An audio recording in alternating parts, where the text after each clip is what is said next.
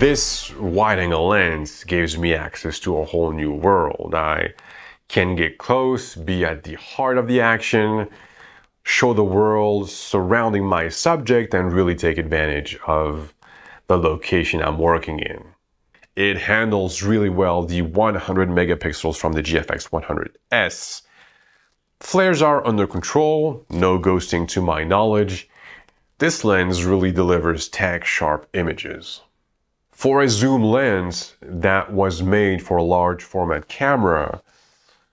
yeah, it's not it's not too heavy, it's not too too big. I often use filters for my work, square or round, and I was glad to see that they used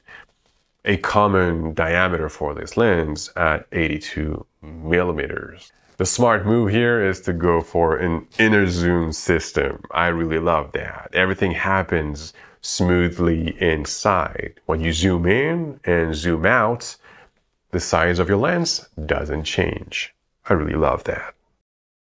23mm 単焦点もあのよく使ってはいるんですけどもどうしてもこう もうちょっと広く撮りたいですとか、えー、そういったシーンというのがあったんですね。どうしてもこう下がれない場面だったりとか。っていった時に、えー、この 20mm、えー、出てきたことによって今まで撮れなかった、えー、シーンっていうのも撮れるようになったと思ってます。ラージフォーマットだけど気軽さは今までと同じっていうところでかつ一億画素だからよりいい写真が撮れる。ここをユーザーの人に、えーまあ、提供したかった、まあ、なのでフィルター582にこだわって今回は設計しました要は小型化と、えー、高画質化の両立ですね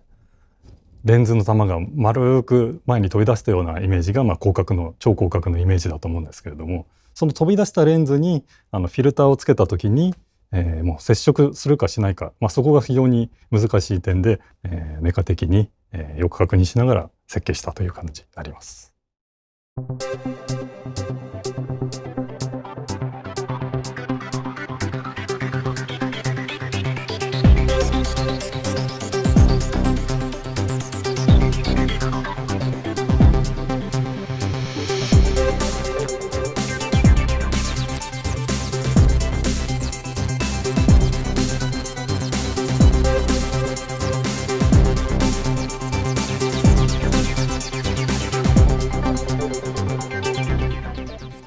20 to 35 f4 is, uh, is a great addition to the GFX system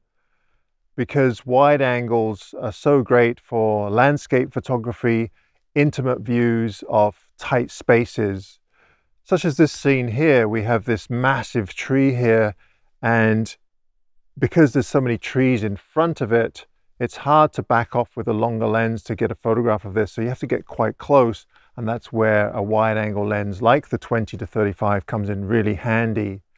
So the extra three millimeter over the 23 millimeter prime lens that Fuji offers, I think is a great addition. Three millimeters doesn't sound like a lot, but it really does add a lot to your toolbox when you're photographing, especially with wide angle zoom. It's a really great addition to the system. I haven't noticed any kind of ghosting or flare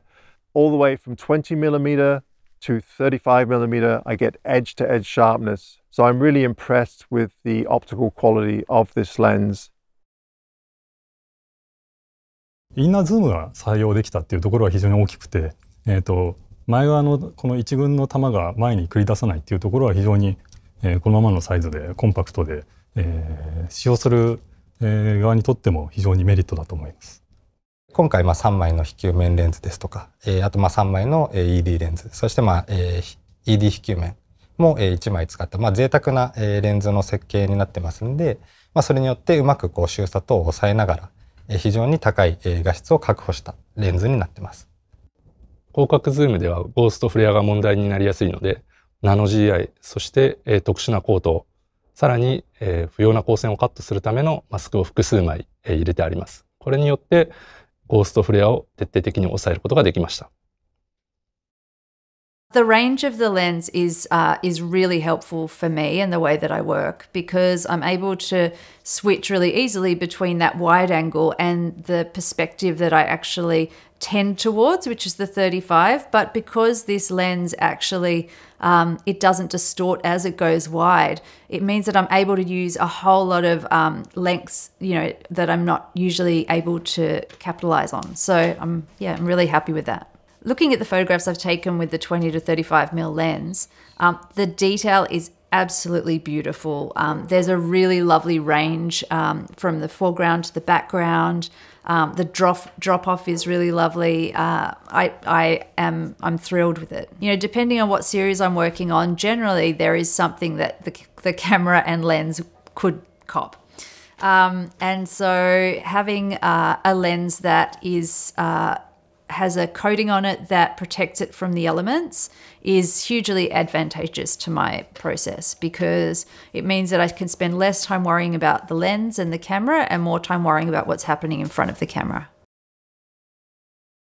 やはりまあこの大きさっていうのがなかなかこう、えー、ブレイクスルーできなかったポイントではあったんですけども、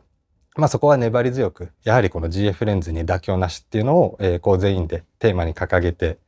えー、やってきたこの、えー、一つ一つの積み重ねっていうのが今こうして形になったかなと思っています。まあめちゃくちゃ大変でしたね。このワイドの超広角のワイドっていうのは、えー、非常に大きな、えーと、情報を取り込むことができます。さらにこの GFX のラージフォーマットを組み合わせることでさらに今まで見えなかったものが、えー、そこに落とし込まれていくと、えー、そういった意味でもえ、そこは非常に魅力的なレンズに仕上がっていると思います。ラージフォーマットのセンサーで、